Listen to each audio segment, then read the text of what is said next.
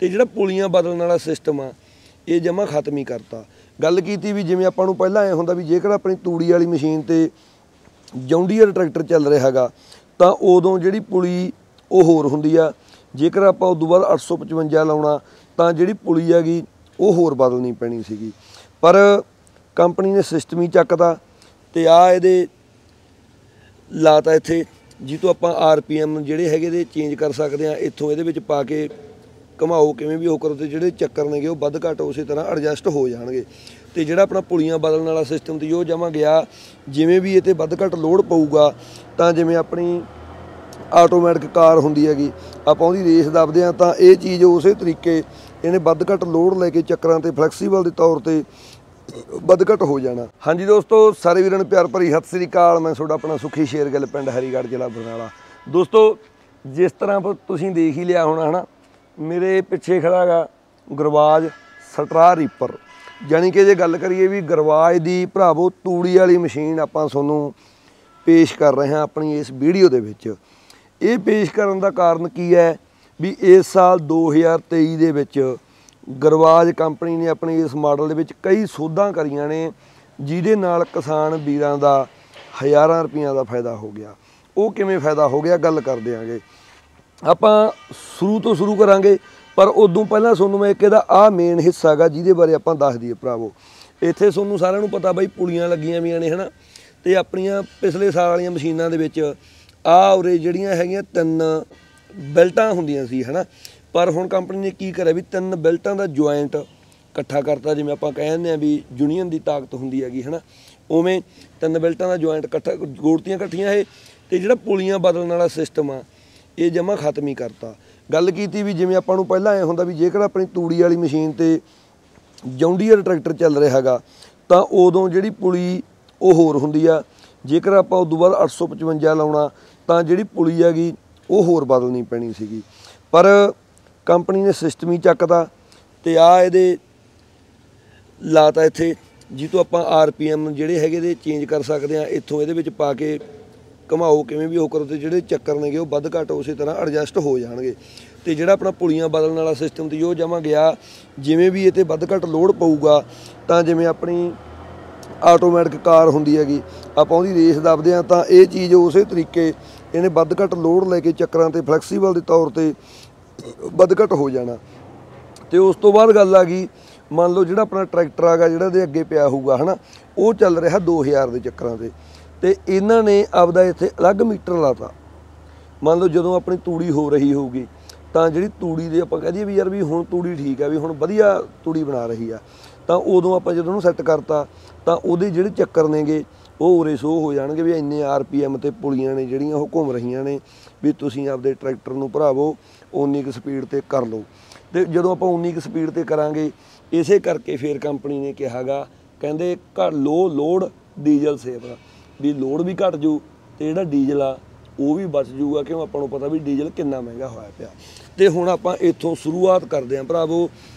ਜਿਵੇਂ ਆਹ ਦੇਖੋ, ਚਾਸੀ ਵਗੈਰਾ ਬਣਾਇਆ, ਸਾਰਾ ਕੁਝ ਨਾ, ਇਹਨੂੰ ਇੱਕ ਸ਼ੇਪ ਐ ਇਸ ਤਰ੍ਹਾਂ ਦੇਤੀ ਵੀ ਜਿਵੇਂ ਆਪਾਂ ਕਹੀਏ ਵੀ ਕੋਈ ਬਾਹਲੀ ਤਕੜੀ ਮੋਡੀਫਿਕੇਸ਼ਨ ਕੰਪਨੀ ਦੀਆਂ ਜਿਵੇਂ ਗੱਡੀਆਂ ਵਗੈਰਾ ਦੇ ਵਿੱਚ ਹੁੰਦਾ ਸੀਗਾ, ਉਵੇਂ ਜਾਂ ਜਿਵੇਂ ਟਰੈਕਟਰਾਂ ਦੀ ਲੁੱਕ ਹੁੰਦੀ ਸੀ, ਉਸ ਤਰ੍ਹਾਂ ਭਰਾਵੋ। ਤੇ ਉਸ ਤੋਂ ਬਾਅਦ ਆਪਾਂ ਇਧਰਲੇ ਪਾਸੇ ਆ ਜਾਓ। 56 ਇੰਚੀ ਥ੍ਰੈਸ਼ਰ ਦੇ ਵਿੱਚ ਆਪਾਂ ਨੂੰ ਜਿਹੜੀ ਆਹ ਰੀਲ ਆ ਗਈ, ਹੈਨਾ? ਰੀਲ ਕਹਿ ਦਈਏ 7 ਫੁੱਟ ਮਿਲਦੀ ਸਾਰੀਆਂ ਕੰਪਨੀਆਂ ਤੋਂ। ਪਰ ਗਰਵਾਜ ਕੰਪਨੀ, ਇਹ ਆਪਾਂ ਨੂੰ ਭਰਾਵੋ 7.5 ਫੁੱਟ ਦੇ ਰਹੀ ਆ। 56 ਇੰਚੀ ਦੇ ਵਿੱਚ 7.5 ਫੁੱਟ ਦੇ ਰਹੀ ਆ, ਜਿਹਦੇ ਨਾਲ ਆਪਾਂ ਕਹਿ ਦਈਏ ਵੀ ਘੇਰਾ ਵੱਧ ਜਾਊਗਾ ਤੇ ਜਿਹੜਾ ਕਿਸਾਨ ਦਾ ਕੰਮ ਆਗਾ, ਉਹ ਵੱਧ ਨਿਬੜੂਗਾ। ਤੇ ਕੰਪਨੀ ਕਹਿੰਦੀ ਵੀ ਇਹ 15 ਮਿੰਟਾਂ ਦੇ ਵਿੱਚ ਇੱਕ ਜਿਹੜੀ ਟਰਾਲੀ ਹੈਗੀ, ਤੂੜੀ ਵਾਲੀ, ਉਹ ਇਹਨੇ ਭਰ ਦੇਣੀ ਹੈਗੀ। ਤੇ ਉਸ ਤੋਂ ਬਾਅਦ ਇਹਦੇ ਵਿੱਚ ਜਿਹੜਾ ਸਭ ਤੋਂ ਮੇਨ ਰੋਲ ਆਉਂਦਾ ਉਹ ਆ ਗਿਆ ਭਰਾਵੋ ਆ ਸੂਰੀਆਂ ਦਾ। ਤੇ ਇਹ ਸੂਰੀਆਂ ਕਹਿੰਦੇ ਵੀ EN8D ਕੰਪਨੀ ਦੀਆਂ ਲੱਗੀਆਂ ਵੀਆਂ ਨੇ ਸੂਰੀਆਂ ਤੇ ਆਹ ਜਿਹੜੇ ਬਲੇਡ ਨੇਗੇ। ਤੇ ਕਹਿੰਦੇ ਇੰਨੀ ਵਧੀਆ ਕੰਪਨੀ ਆ ਵੀ ਇਹਨਾਂ ਦਾ ਘਸਣ ਘੁਸਣ ਵਾਲਾ ਤਾਂ ਕੰਮ ਹੀ ਖਤਮ ਆਗਾ। ਤੇ ਆਹ ਨੇ ਜਿਹੜੇ ਆਪਾਂ ਕਹਿ ਦਈਏ ਵੀ ਟਾਈਨਾ ਤੇ ਉਹ ਜਿਹੜਾ ਮਾਊਸ ਜਾਂ ਜਿਹਨੂੰ ਆਪਾਂ ਚੂਹਾ ਕਹਿ ਦਿੰਦੇ ਆ, ਹਨਾ, ਸਾਰੇ ਇਹ ਬਾਈ ਸਟੇਨਲੈਸ ਸਟੀਲ ਦੇ ਨੇ ਟੁੱਟਣ ਟੱਟਣ ਵਾਲਾ ਤਾਂ ਕੋਈ ਖਤਮ ਹੀ ਨਹੀਂ ਹੈਗਾ।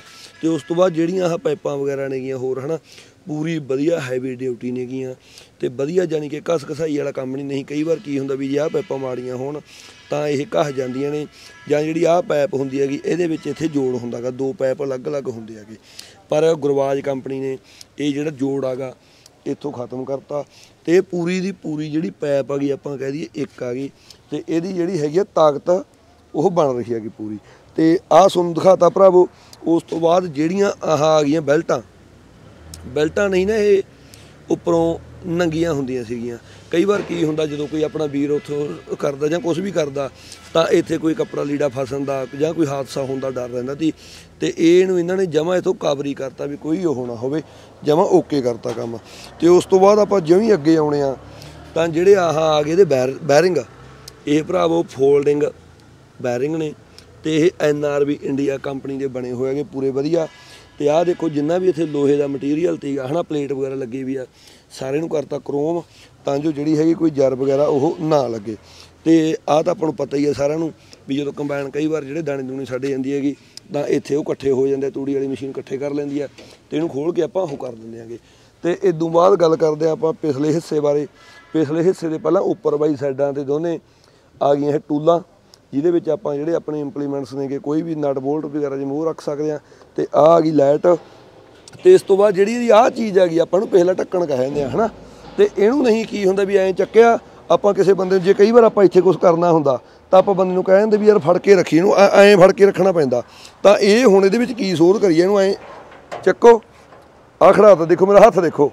ਤੇ ਆਮ ਹੱਥ ਸੜਤਾ ਹੱਥ ਸੜਤਾ ਤੇ ਇਹ ਭਰਾਵੋ ਆਟੋਮੈਟਿਕ ਖੜ ਗਿਆ। ਇਹਦਾ ਖੜਨ ਦਾ ਕਾਰਨ ਕੀ ਹੈ ਵੀ ਇੱਥੇ ਇਹਨਾਂ ਨੇ ਇੱਕ ਪੱਤੀ ਐ ਹਿਸਾਬ ਤੇ ਸਿਸਟਮ ਕਰਤੀ ਵੀ ਜਦੋਂ ਆਪਾਂ ਉੱਪਰ ਚੱਕਤੀ ਤਾਂ ਇਹਨੇ ਇੱਥੋਂ ਉਹ ਹੋਣਾ। ਤੇ ਇਹ ਬਾਅਦ ਜਿਹੜੇ ਆਹ ਵਿੱਚ ਗੱਲ ਕਰੀਏ, ਤਾਂ ਆਹ ਭਰਾਵੋ ਪੂਰਾ ਵਧੀਆ ਮਟੀਰੀਅਲ ਲੱਗਿਆ ਹੋਇਆ ਪੱਖਿਆਂ ਵਾਲਾ ਵੀ ਜਿਹੜਾ ਵਧੀਆ ਹੈਵੀ ਡਿਊਟੀ ਹੈਗੀ।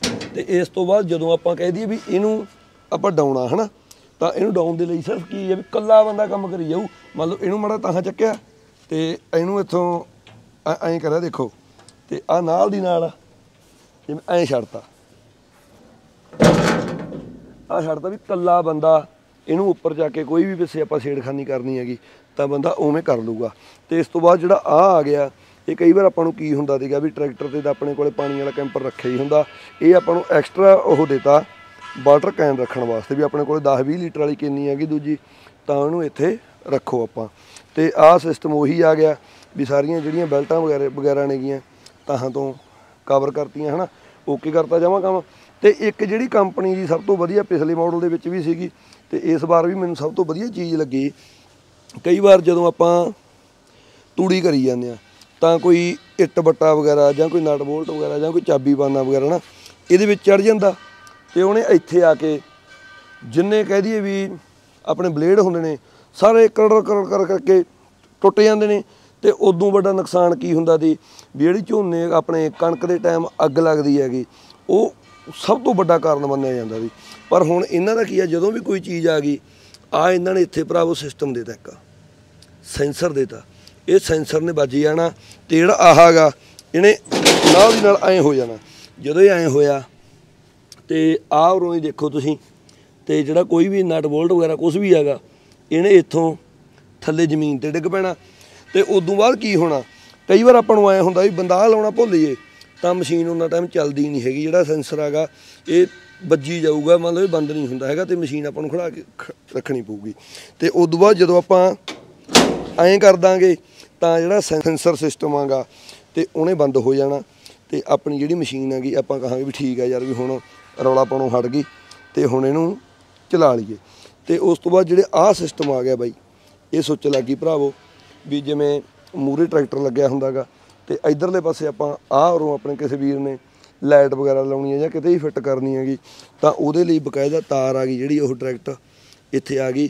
ਇਹਨੂੰ ਟਰੈਕਟਰ ਨਾਲ ਸੰਪਰਕ ਕਰੋ ਤੇ ਜਿਹੜੀ ਆਪਦੀ ਤਾਰ ਵਗੈਰਾ ਗਈ ਉਹ ਜੋੜੋ। ਤੇ ਭਰਾਵੋ ਰਿਵਿਊ ਤੁਹਾਨੂੰ ਕੰਪਨੀ ਦੀ ਤੂੜੀ ਵਾਲੀ ਮਸ਼ੀਨ ਦਾ ਦੇਤਾ ਕਿਵੇਂ ਲੱਗਿਆ। ਕਿਸੇ ਵੀ ਵੀਰ ਨੇ ਇਹਨੂੰ ਖਰੀਦਣ ਸੰਬੰਧੀ ਰੇਟ ਵਗੈਰਾ ਦੀ ਗੱਲ ਕਰਨੀ ਹੈ ਜਾਂ ਕੋਈ ਹੋਰ ਜਾਣਕਾਰੀ ਲੈਣੀ ਹੈ ਕੰਪਨੀ ਸੰਬੰਧੀ, ਤਾਂ ਤੁਸੀਂ ਉੱਪਰ ਦਿੱਤੇ ਨੰਬਰ ਤੇ ਗੁਰਵਾਜ ਕੰਪਨੀ ਨਾਲ ਗੱਲਬਾਤ ਕਰ ਸਕਦੇ ਹੋਗੇ। ਤੇ ਇੱਕ ਮੈਨੂੰ ਜਰੂਰ ਦੱਸਿਓ ਵੀ ਜਿਹੜਾ ਆਹ ਸਿਸਟਮ ਆਗਾ ਪੁਲੀਆਂ ਵਾਲਾ, ਹਨਾ? ਤੇ ਇਹ ਤੁਹਾਨੂੰ ਕਿਵੇਂ ਲੱਗਿਆ? ਕਿਉਂ ਨਹੀਂ ਜਦੋਂ ਆਪਣਾ ਕਿਸਾਨ ਵੀਰ ਪੁਲੀਆਂ ਬਦਲਦਾ ਹੁੰਦਾ, ਤਾਂ ਹਰੇਕ ਵਾਰੀ ਉਹਦਾ 5 ਤੋਂ 10000 ਰੁਪਏ ਜਿਹੜਾ ਹੈਗਾ ਉਹ ਫਾਲਤੂ ਲੱਗ ਜਾਂਦਾ। ਤੇ ਮੰਨ ਲਓ ਵੀ ਇੱਕ ਵਾਰੀ ਕਿਸਾਨ ਵੀਰ ਨੇ ਤੂੜੀ ਵਾਲੀ ਆ ਮਸ਼ੀਨ ਲੈ ਲਈ ਗਰਬਾਜ ਦੀ ਉਦੋਂ ਬਾਅਦ ਚਾਹੇ ਕਿਸਾਨ ਵਾਰ ਕਿਸਾਨ ਵੀਰ ਹਰੇਕ ਸਾਲ ਟਰੈਕਟਰ ਬਦਲੀ ਜਾਵੇ, ਕੋਈ ਦਿੱਕਤ ਨਹੀਂ ਹੈਗੀ। ਟਰੈਕਟਰ ਬਦਲਣ ਦਾ ਕਾਰਨ ਕੀ ਹੁੰਦਾ ਵੀ ਕਈ ਵਾਰ ਕਿਸੇ ਦੀ ਸੈਟਿੰਗ ਨਹੀਂ ਬੈਠਦੀ। ਸੋ ਦੋਸਤੋ, ਵੀਡੀਓ ਤੁਹਾਨੂੰ ਭਰਾਵੋ ਕਿਵੇਂ ਲੱਗੀ, ਇਹਨੂੰ ਵੱਧ ਤੋਂ ਵੱਧ ਸ਼ੇਅਰ ਜ਼ਰੂਰ ਕਰ ਦਿਓ। ਜੇਕਰ ਕੋਈ ਚੀਜ਼ ਦੱਸਣ 'ਚ ਕਮੀ ਪੇਸ਼ੀ ਰਹਿ ਗਈ, ਤਾਂ ਆਪਦਾ ਛੋਟਾ ਭਰਾ ਸਮਝ ਕੇ ਮਾਫ ਕਰਿਓ ਤੇ ਸਾਨੂੰ ਕਮੈਂਟਾਂ ਦੇ ਵਿੱਚ ਜ਼ਰੂਰ ਦੱਸਿਓ ਵੀ ਜੀ ਤੁਸੀਂ ਆਹ ਚੀਜ਼ ਬਾਰੇ ਵੀ ਬਰੀਕੀ ਦੇ ਵਿੱਚ ਦੱਸ ਸਕਦੇ ਸੀਗੇ। ਤੇ ਕੋਸ਼ਿਸ਼ ਕਰਾਂਗੇ ਐਦਾਂ ਹੀ ਵਧੀਆ ਵਧੀਆ ਮਸ਼ੀਨਰੀ ਤੁਹਾਡੇ ਅੱਗੇ ਲੈ ਕੇ ਆਵਾਂਗੇ, ਹਨਾ?